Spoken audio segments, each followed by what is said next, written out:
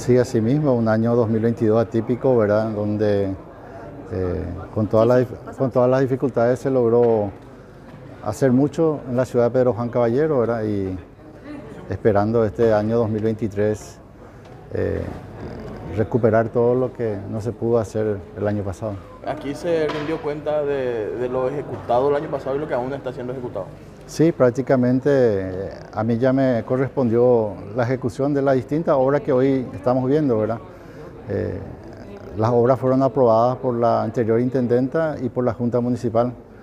Eh, lo que estoy haciendo ahora es la ejecución de esas obras, ¿verdad? 14 mil millones en empedrado, 2 mil millones en el hospital, cuatro comisiones de pozos artesianos que van a tener su pozo y varias otras obras que están en ejecución en este momento. ¿verdad? Eh, más adelante vamos a ver la pavimentación asfáltica y eso ya va a corresponder al 2023. Ahora mucho trabajo entonces. Sí, si Dios quiere, hay importantes trabajos que eh, de asfaltado para la comunidad. En cuanto a recaudación, ¿se va acercando a los contribuyentes?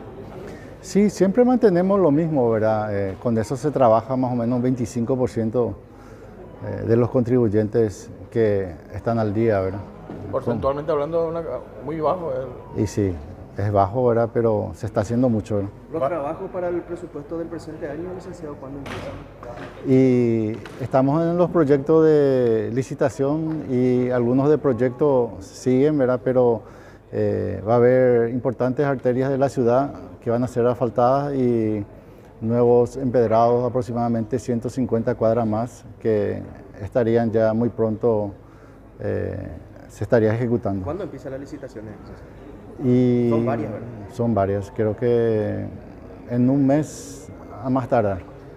Colocación de reductores y también bacheo de, asfalto. ¿Cuándo se hacer eso? Y sí, eso estamos esperando la parte de documentación burocrática que nos exige eh, la parte de contrataciones, ¿verdad?